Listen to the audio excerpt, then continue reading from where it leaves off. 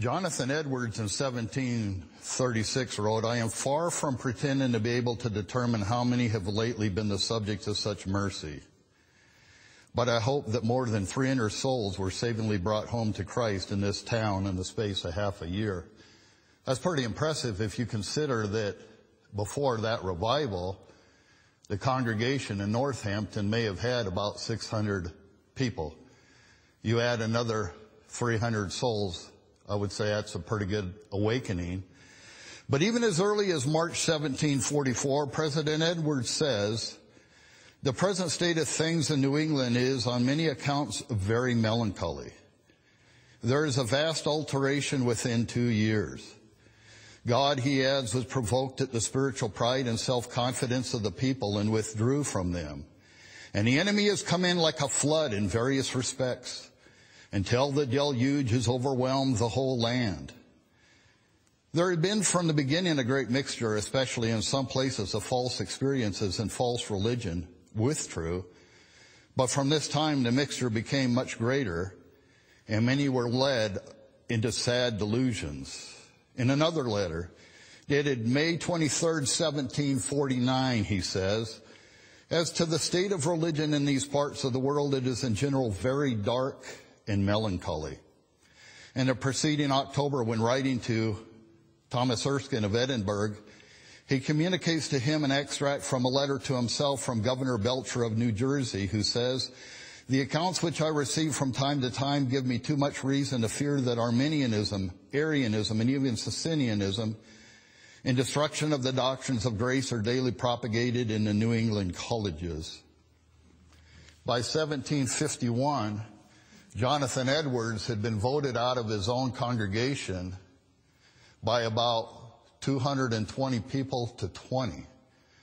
So the question we're going to ask in the back of our mind today is, what went wrong?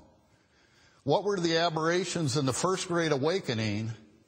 And did Asahel Nettleton learn from them? And did he aim to correct them? And was he successful? Now, revivals at the end of the 18th and the beginning of the 19th centuries. By the way, I just want to give you a little footnote. You see these pictures in these books before there was color photography. A lot of these pictures were done by Samuel Lovett Waldo.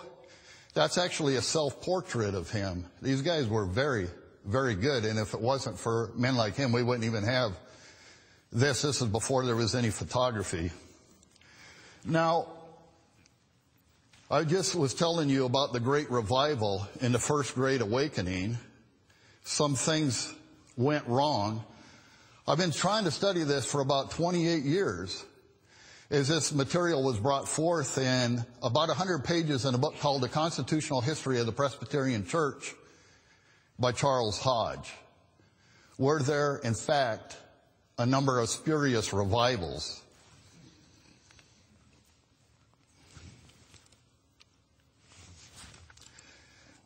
In, uh, in the beginning of uh, let's say 1792, 1790, up to 1798 was the beginning of what we call the Second Great Awakening. It didn't get as much publicity as the First Great Awakening, but there was quite a revival that had went on. The nation was in a state of declension after the First Great Awakening through the Revolutionary War, and there's a number of reasons for that. I think infidelity was brought in because of working with France in the Revolutionary War, but a lot of men who were teaching theology, like John Witherspoon, a president of Princeton University, got really active in the Revolutionary War, and he became um, on our side and a forefather of our country, but the seminaries, the colleges were really in decline at that time. But then revival broke out, and it was the purpose of the uh, Connecticut Evangelical Magazine, which was commenced in the year 1800, to detail some of the revivals that were going on. This is, uh, I told you about print on demand works. I find these magazines online and they'll print them through the espresso book machine. Like I said, I can print that, have that book printed out for me. It takes five minutes. So things that are really interesting to me historically I've been able to get a copy of.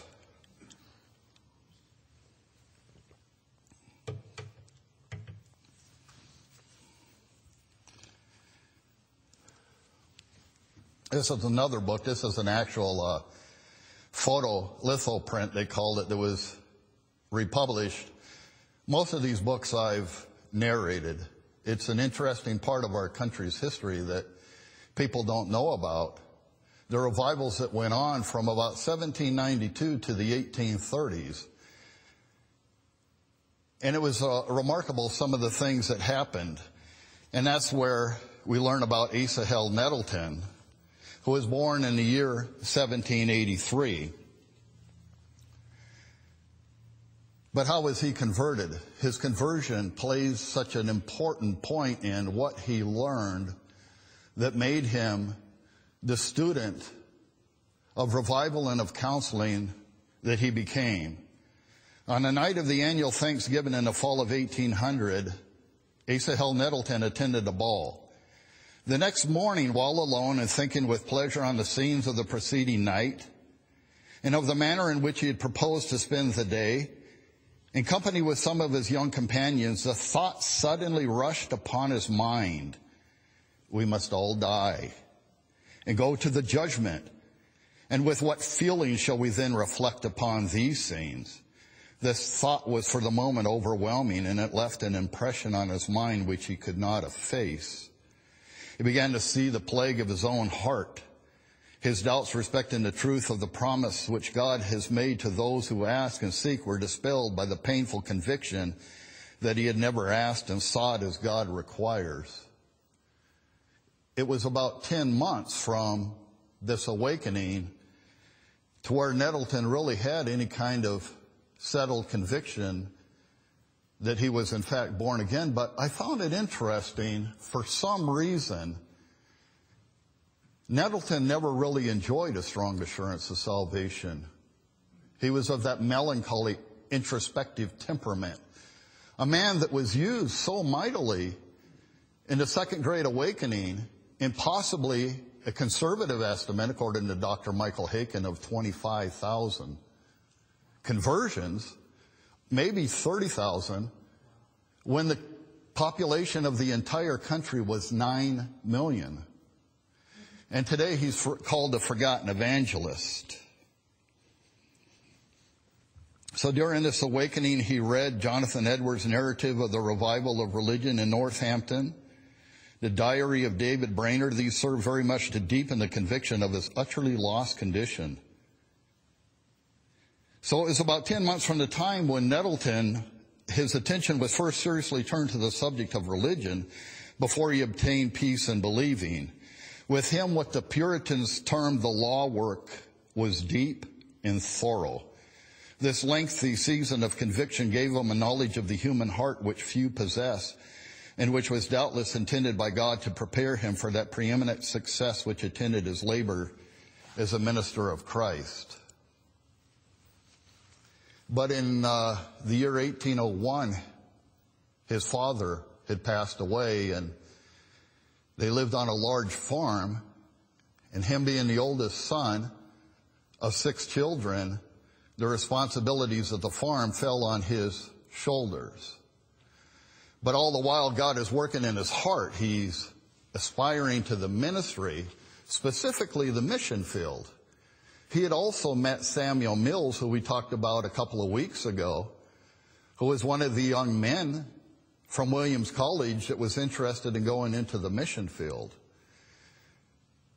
But providentially, he was hindered because of his finances. He barely was able to get through the school. He didn't want to incur a debt. And so this kept him temporarily from going, but he never left off that ambition until about the year 1822 when he was struck with typhoid so severely that he was sick most of the rest of his life. It had affected him for a full two years. But he did get into Yale, and as I mentioned a couple of weeks ago, Timothy Dwight, who was the grandson of Jonathan Edwards, was in the president. To give you an idea how bad it was before these revivals came, When Dwight took over the presidency of Yale, you had 10 evangelicals out of 110 or 120 students, and the rest of the students were infidels. They were unbelievers, and Dwight had formed a class where he took a number of these aside and he would answer their questions, and they were starting to be turned around. And this is about the time Nettleton got there. And in the year 18, there was a revival in 1802 and again in 1807. And so Nettleton is there at the time, and the awakening is intense. One of the students was under such deep conviction and fear that he was emaciated upon a bed between life and death. So Asahel Nettleton went to get Timothy Dwight to counsel him. Another student went and got one of these infidels who was a scoffer and brought him in to see this student who was so seriously under conviction that it was affecting his health.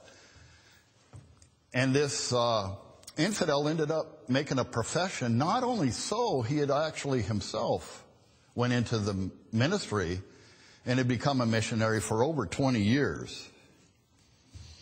But this is the account. He stood for a moment looking at the emaciated form before him. He listened to the exclamations which told the distress and horror of an awakened conscience and then turning went back to his room to weep there under a sense of his own sin. So that was the unbeliever who was brought in. The other convicted sinner's health rapidly declined under his sufferings.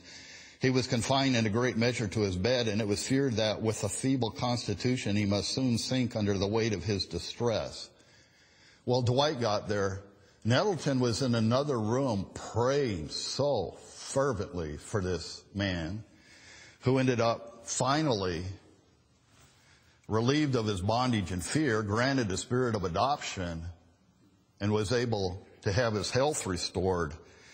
But Asahel Nettleton had become really sick in school so bad that he had to temporarily leave. At the same time, he's wrestling again with his assurance of salvation. So he goes to the office of the president, Timothy Dwight, lets him know that he has to leave temporarily to recover his own health. Dwight gives him sermons that he had written on the evidences of regeneration and also a treatise on the religious affections by Jonathan Edwards. When Dwight had come into Yale, he had um, met a person there who wasn't even a believer, but Nettleton discovered really early on this guy didn't have a roommate, and he offered to room with him. And eventually he was influential in this person's conversion. But this person said of Asahel Nettleton that upon getting this work by Jonathan Edwards, the sermons by Timothy Dwight, the works of Joseph Bellamy, he went into a time of self-examination that he had never seen equaled. So Nettleton was very introspective, but very thorough, making sure the foundation was proper. Well, when it came time for Nettleton to graduate, he still had incurred enough debt that Timothy Dwight gave him work around the college to pay off some of his debt, but he also had the door open to him to where he could go other places to preach. And immediately his preaching was successful. It made an impression on people. He wasn't, he never had the pathos of a George Whitefield. he enunciated every word deliberately. He was very, very careful how he communicated. And surprisingly, I don't think the guy ever wrote any sermon notes. He wrote some things down in his Greek and other languages and so on, but Nettleton almost continually preached extemporaneously. But there began to be fruit from his preaching efforts. And it just seemed like Everywhere he went, revival would follow him, the manifest presence of God. It was, it was remarkable that the way that God was using him during this time.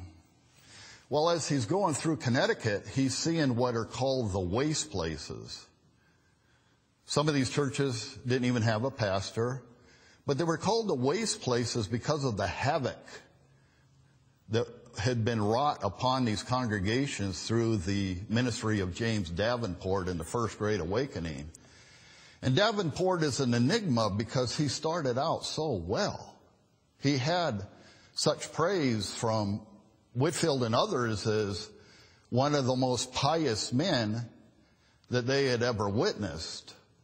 But here's something that we need to learn from this. Davenport got into an idea that you can know God's will through direct impressions upon the imagination. And he came to this conclusion that he was one that was going to be greatly used of God wherever he went. And his pride had been fed, but so subtly he didn't know it was the devil that was leading him on and he got a following and they would denounce pastors in a congregation as unconverted. It, it, was really bad, and it went on for a long time before six pastors finally were able to sit Davenport down and settle him down and convict him that he was not being led on by the Holy Spirit, he was being led on by the subtlety of the devil. Now, Davenport had retracted his errors. He saw the damage that he had caused. He went to the places where he had done this damage, but it was too late. Because when you work up people into this kind of frenzy and they think that you're greatly used of God, and then you come back and you try to make it right, some of the people think that, well, you've just, now you're listening to the voice of the enemy and he was never able to repair the damage. And Nettleton saw this as he was going through Connecticut, and it made him a student of what is fanaticism and what is sympathy in revivals and the things that it can, the damage it can cause.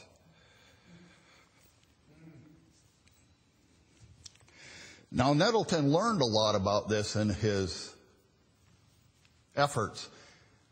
A couple of things up front, which I think may have been wrong in the ministry of Whitefield, and that is these itinerant evangelists were going from place to place. They weren't spending a lot of time in any one place. So, uh, Whitefield never really made himself available to counsel the awakened. Nettleton, on the other hand, would stay three or four months in a place he would never stay where he didn't think he was welcome.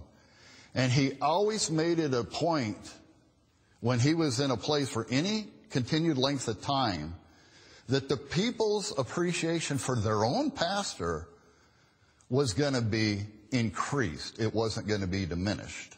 He never eroded a ministry that was already in place. He wouldn't have been one of the problems that happened in the first Great Awakening was some of the brashness. For example, Gilbert Tennent, in a sermon called The Danger of an Unconverted Ministry, and rightly so, he aimed at that there were unconverted Presbyterian pastors, but the censoriousness was too strong, and people lost respect for their pastors and so these churches became waste places. And Nettleton had learned from that, and he wasn't going to repeat it.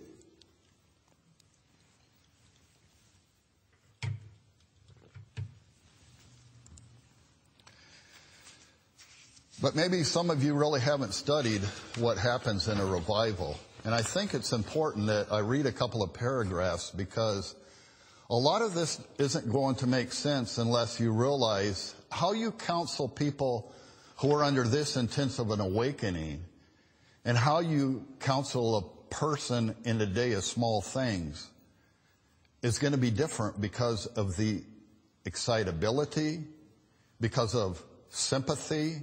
Sympathy is simply what we have even in common with the animals. That's how we relate. If I yawn, you see me yawn, it causes you to yawn. But if you're in a congregation and somebody cries out in distress, do you leave him there? Do you leave him in the congregation? Or is, would it be better maybe to take him out and bring him to a separate room to counsel him? So I'm going to read this and then I'm going to ask a question at the end. This is from a book called Authentic Records of Revival, now in progress in the United Kingdom, 1859. This is Bovevagh, Ireland. It was thus evident the Lord was in the midst of us answering the earnest and fervent prayers for His Holy Spirit offered in the name of Christ. The following day, June 12th, was a Sabbath, a day which will never be forgotten by many in this parish. Oh, with what power and majesty Jehovah walked amongst us. When the usual time for public worship came, the church was so crowded that we were obliged to retire to the churchyard and conduct services in the open air. The crowd became immense. The minister and congregation of Scriggan having joined us, and a more solemn assembly never met on earth. That was what marked Asahel Nettleton's revivals. He said, in one place that in an inquiry room, which sometimes could be a house or some large separate building, 200 people from the congregation crying out, moaning together that he said, I've never felt anything so close to eternity. The passions were so agitated and the emotions were so strong you could feel the place shake under your feet. So he says, during the services, the tears and suppressed sobs of many showed that it was no ordinary occasion, that it was a day of God's power, that the Spirit of power was dealing personally with men's souls. When the benediction was pronounced, a few retired, but the great majority lingered, stood in fact as if held in a vice or bound with a chain, and in a moment as if struck with a thunderbolt. About a hundred persons were prostrated on their knees, sending forth a wail from hearts bruised, broken, and overwhelmed with horror. I'm going to qualify this and tell you something that I told the folk in Holland when I taught this there. I cannot find in all my studies of revival and other works that God has limited himself either to show a Christian manifesting joys and hopes of heaven, he hasn't limited himself, neither does he limit himself sometimes to the body that is not reconciled to Christ and what they may feel of their condition if they're not reconciled to him. Oh, what must the wellings of the lost in hell be, he says, when the discovery is made that then lamps are gone out, that the day of mercy is past and the door of hope is shut forever.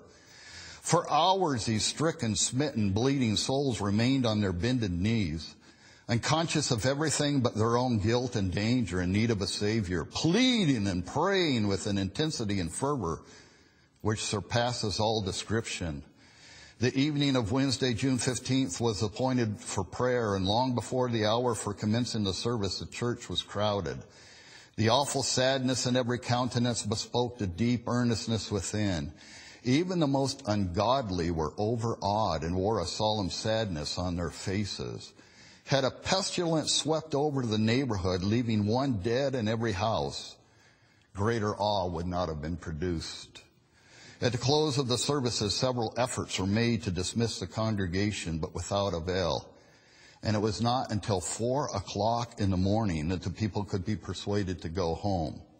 Multitudes were again on that night steeped in awful sorrow and stung with the most poignant remorse for sin. Such unutterable horror overwhelmed one young man that blood streamed from his mouth and his nose. Another man who all his life was a profligate had such a vivid view of the horrors of hell. And the pains of hell took such hold of him that he cried like a demoniac that a hundred devils were dragging him to the bottomless pit. So here's the question. You're leading this congregation.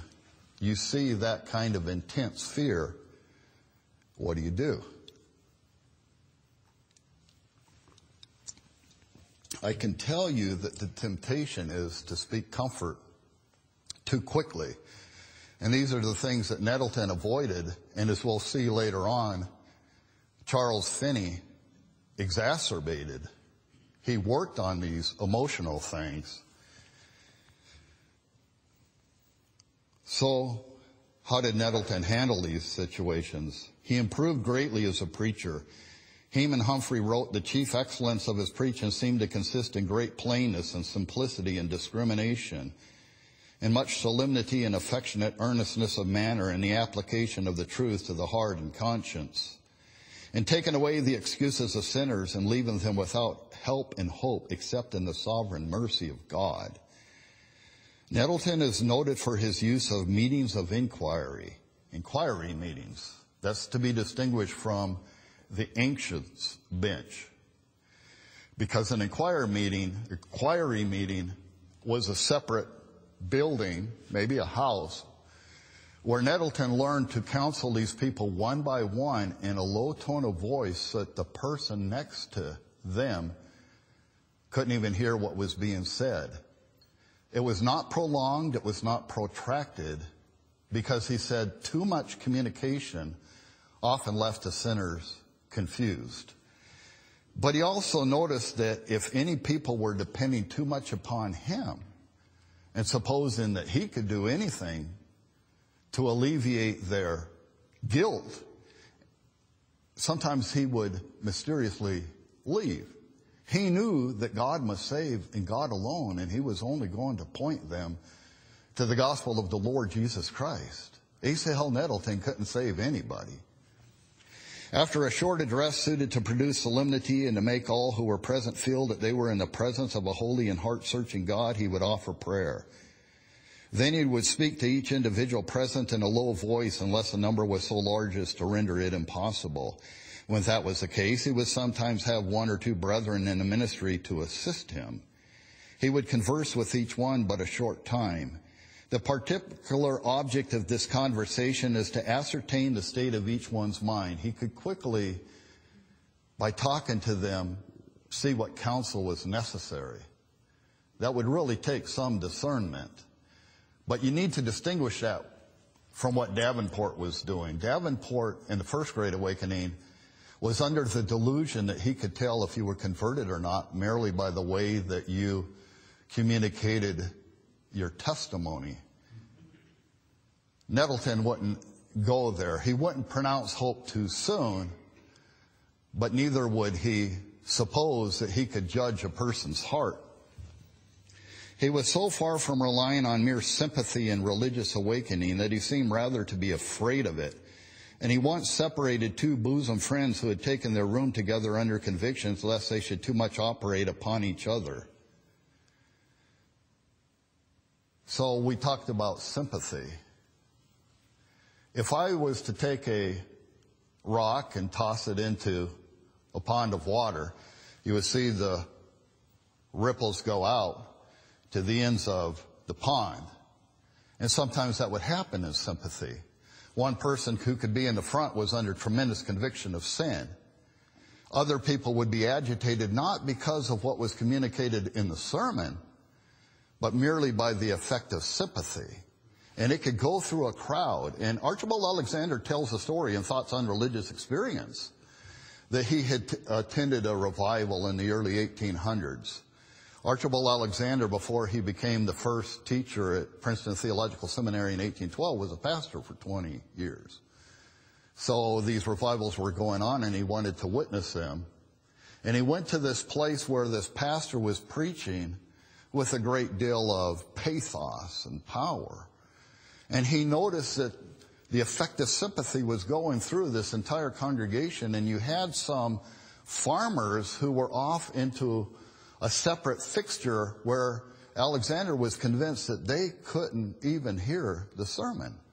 But so powerful was the effect of sympathy that he said it was like a wind that just affected these people and they couldn't hardly stand against it even though it was mere human emotion. It wasn't because they had heard the word and were convicted by that. So what Nettleton would do typically if somebody cried out in a congregation, was to take them out and get them into a separate room and have somebody that he trusted counsel them. He didn't allow these things to go on.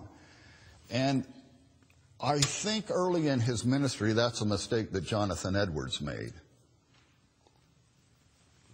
Because he said, you know, these things are going to happen. And he says, I wonder if those people that are my critics would behave themselves more favorably if they were under this strong conviction of the Spirit. Well, we grant him the point, but Edwards didn't check some of the outcries that were going on in the congregation. Less so probably Whitefield, because Whitefield has such power. I mean, when David Garrick said that he could reduce an audience to tears merely by the way he uttered the word Mesopotamia, that is also going to work upon the emotional feelings. And because Whitefield didn't stick around a lot of times to counsel people that supposedly were under this conviction, Nettleton wasn't going to make that mistake. So there were things that happened in the first great awakening that Edwards himself, I believe, really corrected. And you can see it in his work that was written later after a narrative of surprising conversions called Thoughts on the Present Revival of Religion and more particularly his treatise on the religious affections, which almost to a fault he corrects it because some of the things in the positive signs that Edwards lays out are so subjective that the average person would have difficult to apply them. For example, when he says that true religious affections have beautiful symmetry and proportion.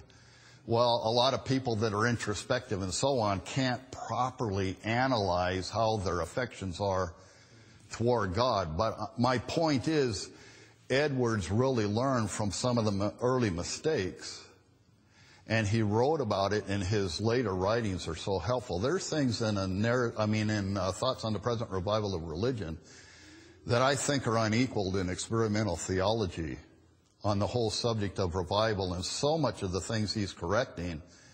I believe he doesn't name Davenport, but he has that kind of a thing in mind.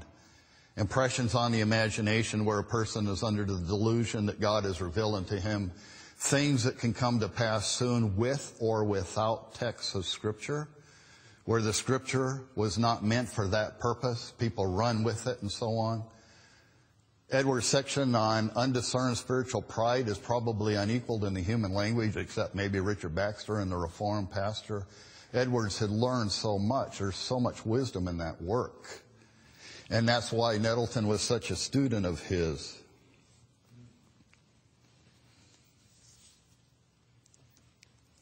Nettleton never countenanced the early admission of young converts to church membership, but thought much of training them and watching over them for a season as candidates for this privilege.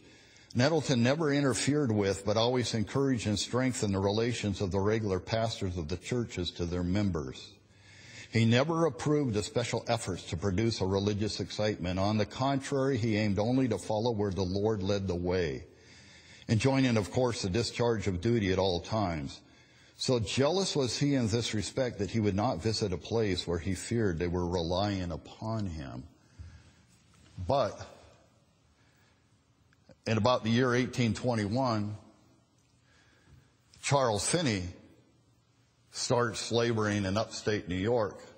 Nettleton makes friends with Lyman Beecher, and they're both concerned about what we call the new measures. Protracted meetings meant that the meeting where Finney was preaching, it would go on all night, not because it was an effect of something, but to affect something. We notice in this revival in Bovevagh, Ireland, they stayed there all night because they're so affected. But the reason Finney did it was because he was working upon the will through a strong, powerful, mere passion and human emotion to try to get these people to make decisions. So Finney would use the anxious bench. And so Lyman Beecher and Nettleton were writing back and forth in a number of letters. Lyman Beecher wrote something called Letters on the New Measures. But one thing that's been interesting about this study is what happened to Lyman Beecher. Ironically, more of you know about his family than you think because his daughter is Harriet Beecher Stowe, who wrote Uncle Tom's Cabin. And this is Henry Ward Beecher, who became one of the greatest preachers of the 19th century. But unfortunately, by that time, they were preaching against causes. They weren't preaching really sound doctrine. Beecher went on to imbibe the teachings of Nathaniel Taylor, who was a successor to Dwight. And I, ha- I have to press something home here that I think is so important that I learned from this, and that is the importance of really adhering to a confession of faith. Because what led to Beecher's error, Taylor's error, finally the disruption of the Presbyterian Church in 1837, it really came down to one doctrine. And it wasn't limited atonement, atonement, it was the imputation of Adam's sin to his posterity. They stopped believing in the total depravity and the total inability of man. And Finney later on, he bought this stuff wholesale. Nettleton first heard of Finney when he was preaching on uh, Long Island, New York at a place known as Jamaica. While here he began to receive reports about certain revivals and strange happenings, and happenings in the vicinity of Oneida County, New York. An uproar was taking place there because of the introduction of what were being referred to as the new measures. The manifestations of these phenomena were a denunciatory style of preaching, irreverent attitudes in the pulpit, bringing women forward to preach and exhort in mixed assemblies, calling people by name from the pulpit. He would actually interview the pastor before he would do this meeting and find out is there anybody here who may be in a state of declension or whatever. And in his preaching, he would call them out from the pulpit in front of everybody and tell them to get right with God. It was censorious, it was imprudent, and it was uncharitable. so he would use these high pressure methods of getting converts, such as urging people to rise up in their seats or come down to the altar in order to become Christians.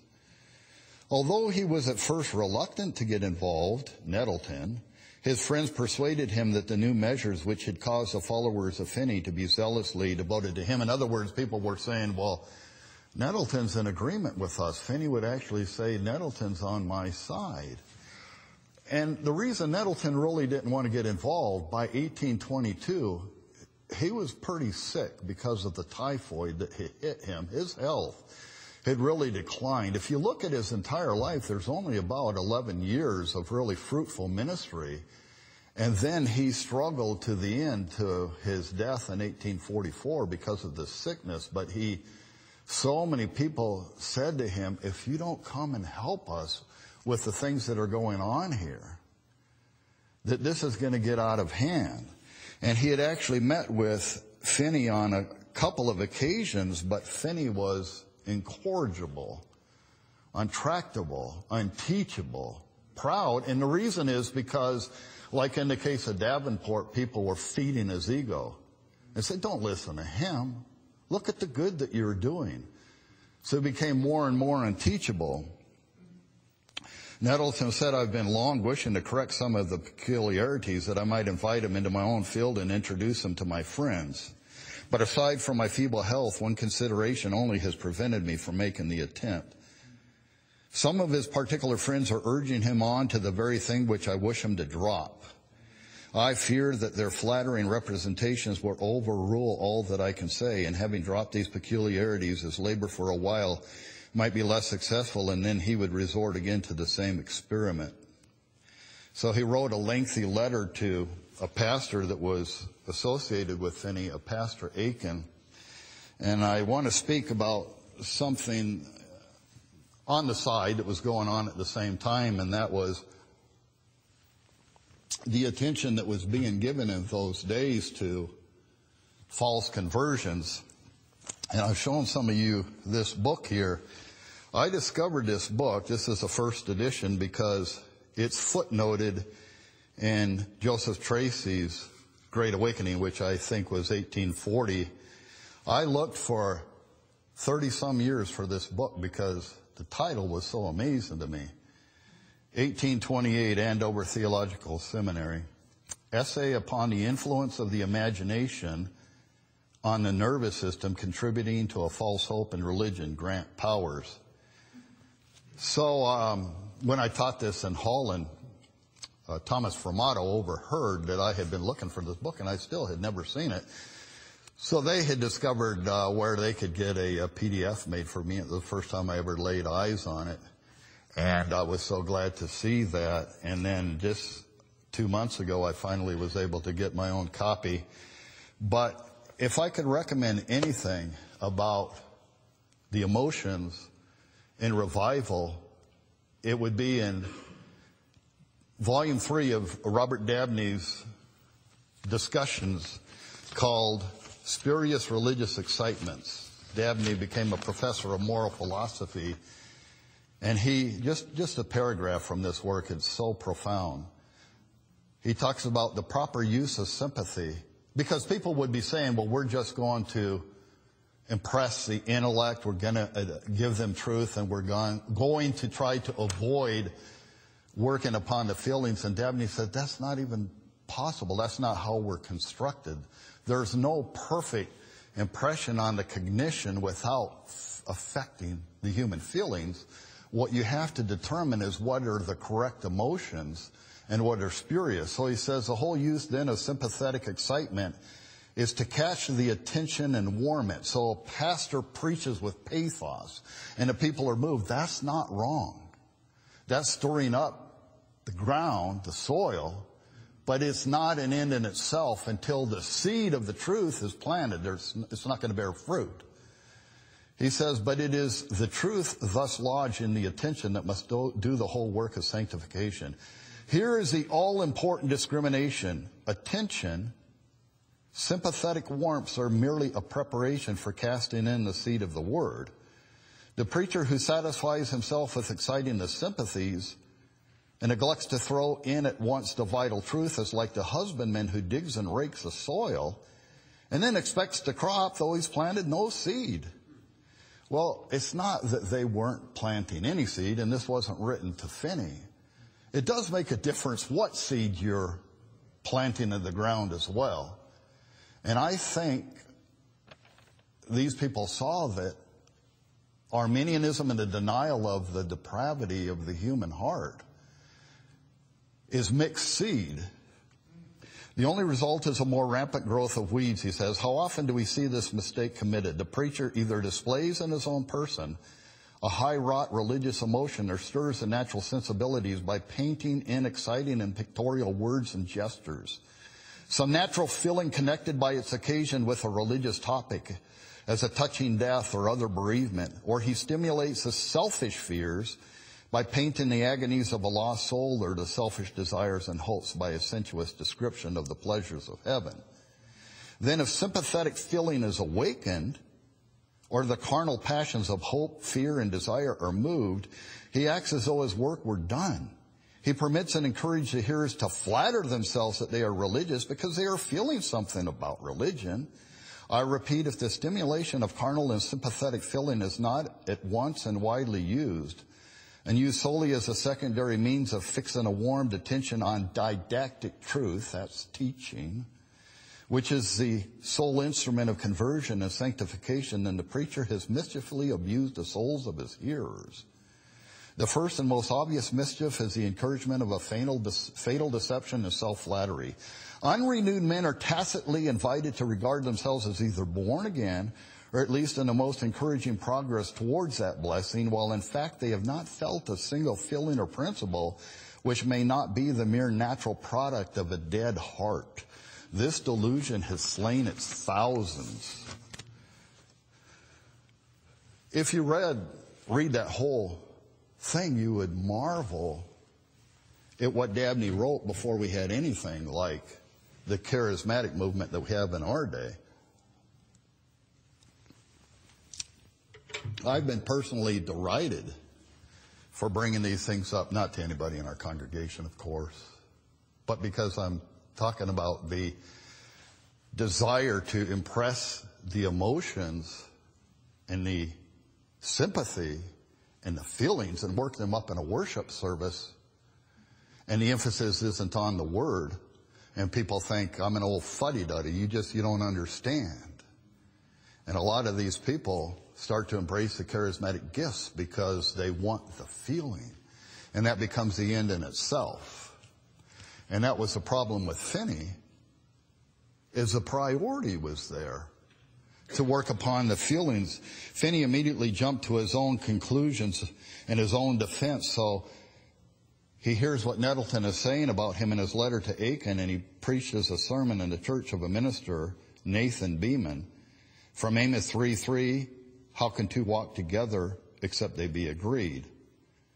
So instead of saying, well, I grant his point, maybe we have been doing some things wrong here, he digs deeper in this sermon, he heaps scorn on his opponents. He accuses them of having dead and frosty hearts and of not being right with God, thus accounting for their opposition to the new revivalism. Lyman Beecher, in his desire to keep the revival camp intact without a war breaking up between the Western and Eastern revivalists, called for a meeting at New Lebanon.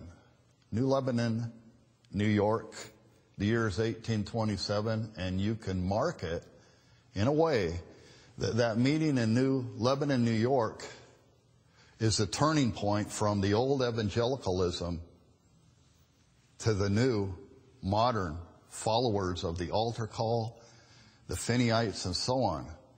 It's an interesting thing because Nettleton is called the forgotten evangelist. Finney, to this day, is extolled as the great preacher of the Second Great Awakening. John Thornbury says in his book, God Sent Revival, that when he wrote that work, he went to a theological school that was founded by Nettleton because he knew, well, he wanted to do research, but he knew that there was a portrait there at one time of Nettleton. He couldn't find it. It was in an adjoining room up in the attic, leaning against a beam in the attic. He found it. Now, I guess it's in its proper place. On the other hand, I'm told you can go to Wheaton College and there's this prominent picture of Charles Finney on the wall. And I, I don't know that I can account for how did this happen with all these revivals that had taken place and so on, that Nettleton had so many people converted under his ministry and his name is forgotten. And in our day, and you can, you can check the statistics on this because I was looking on Amazon. There are more materials by Finney 10 to 1 than anything on Nettleton.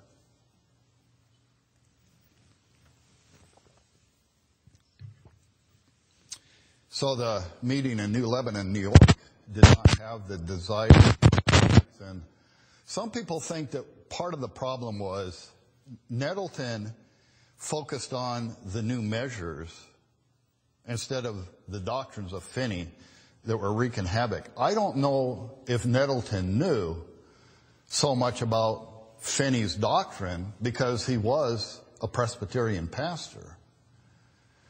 But I think the second thing is Nettleton really, by that time, was pretty sick and he didn't want a long, drawn out battle with Finney.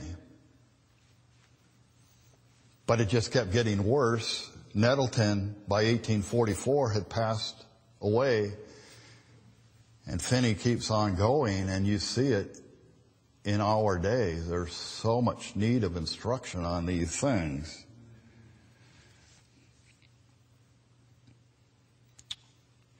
In 1839, Hampden, Sydney College, Virginia, and Jefferson College, Pennsylvania awarded Nettleton an honorary doctorate degree. He reluctantly received these after considering all the attention he would draw if he refused. But he, ne- he had never married. Probably at the time he had thought that he was going into the mission field and he was focused on that. But Nettleton a couple of things about him. he was never, ever caught alone with a, a lady, wouldn't walk with her or anything. Another thing is, and this may be a fault, he was scrupulous to avoid receiving any kind of a monetary thanksgiving for the labors that he did. As long as he had the food and his raiment, he was content, but that may have been to a fault. And from what I understand, and I can speak from personal experience, um, a lot of times being single like that does make you somewhat socially boorish. He did have his idiosyncrasies. But as far as being able to counsel people during revivals, he probably didn't have an equal. But he's forgotten in our day. But I still, I have to leave this with you because there's so much to this story that's related. It's to the side of this, and that is what was happening to our colleges and seminaries and so on. And it is amazing to me because I studied this out in some detail about 25 years ago. I was able to get a number of copies of what's called the Quarterly Christian Spectator, which came out of New Haven, which was really Yale. There were 16 charges, for example, that were brought up against Albert Barnes, and he had the Sermon, The Way of Salvation, his commentary on Romans, and so on. Both Barnes and Beecher were brought up in trial for heresy and were acquitted. Now, heresy is used, was used a little loosely compared to what we would do in our day, if, you know. But what it really came down to, it wasn't the 16 things that were the problem to me. Everything that I could study about this, it was one thing, and that was the imputation of Adam's sin to his posterity. And it even started with Timothy Dwight. What was interesting to me, the one thing Nettleton disagreed with his college president on was the effects upon the fall uh, of the fall upon the human heart. Dwight had already drifted from that little, a little, though in 1817, Dwight was really concerned about the direction that Nathaniel Taylor was going. And it just continued until it split the Presbyterian Church in the year 1837. The Presbyterian Church came together again as the United Presbyterian Church in 1865, but that's usually at the expense of doctrine. By 1865, the United Presbyterian Church was starting to embrace a lot of liberalism and so on. But, brethren, we, we have it good here. I started in the Reformed Baptist movement in the year 1984. In these years, I've been through classes on the confession six times, three by Pastor Nichol, three by Sam Waldron, and it never gets old.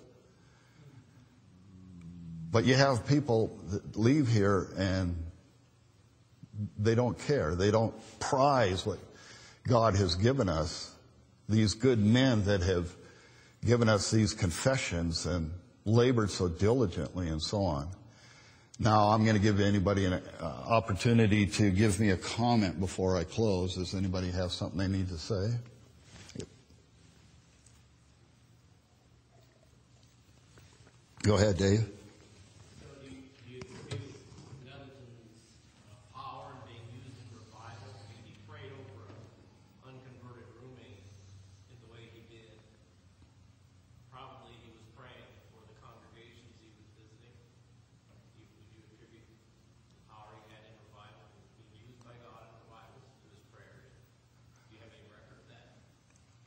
Yeah, let me tell you another story about that that's really interesting. You know how much uh, fuss that we make about the sermon Sinners in the Hands of an Angry God by Jonathan Edwards, right? There's only two sources that we know about that records what happened when Jonathan Edwards on July 8, 1741 preached in Enfield, Connecticut. What was communicated by Eleazar Wheelock to Benjamin Trumbull in a book called A History of Connecticut. The only other source, and a couple of months ago I was trying to find this diary, and I found it in a library of a town of 15,600 people in Massachusetts. And the man's name was Stephen Williams, a diary. And what I was trying to find is how far Jonathan Edwards got into that sermon before there was such an outcry in the congregation that he couldn't finish. Remember, he held his hands up to be heard. What is missing in that whole account is what Eleazar Wheelock said that the people in the surrounding towns were afraid that the Spirit of God was going to pass them by. And they wanted God's manifest presence there in Enfield, Connecticut. So it just says the neighboring people, three words, spent the entire night, the night before, prostrated on the ground before God in prayer, saying, God, please visit this congregation. The way we've rewritten that history is we look at the words of Jonathan Edwards in his sermon Deuteronomy 32 verse 35 and we say, well, that's what created the revival. And we totally forget that God uses means and it was the people of Enfield, Connecticut on their faces before God the night before that God, oh, and he heard the cries of his people and he came down to the residence in Enfield. So to answer your question, prayer is a means to revival. God is sovereign and revival is a sovereign act of God. But he does stir up his people. He gives them a spirit of grace and supplication. And that's a part of that story. And this story that really needs to be emphasized is that these people were praying for revival. Nettleton reminds me a lot of Robert Murray M'Cheyne. He spent so much time in prayer and personal godliness that it was said of Robert Murray M'Cheyne that when he stood up into a pulpit sometimes before he even said a word, people would start weeping because it was so obvious that this guy had come out of the presence of God. There was just something about his demeanor. And that's what happened in Nettleton as well. Nettleton would have no power at all if the Holy Spirit hadn't been coming to these congregations. So I hope that answers your question. Pastor Nichols, do you have anything to add to this? Okay. All right, I'm going to uh, pray and you can be dismissed. Thanks for your attention. Father, how could we not desire this? How could we not desire that you would come and meet with your people? The church needs it. The community that we live in needs this. And our nation needs this. We would love and long to see your spirit go forth in these congregations where it is said that in five years, 150 churches in New England could record that revival had come to their congregations. You've done it before, Lord. We're asking, we're begging, please visit us again and start even this morning in your worship service that your name would be hallowed and that your name would be held up in this congregation. We ask in Jesus' name, amen.